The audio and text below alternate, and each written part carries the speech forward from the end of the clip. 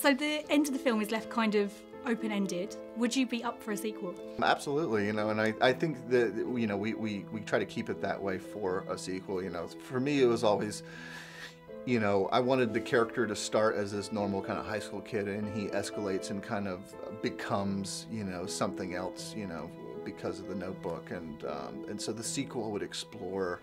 Uh, that kind of arc as that character goes forward. Is there any particular moments, maybe from the manga or anime, that you'd like to see in a sequel? Explore a bit more.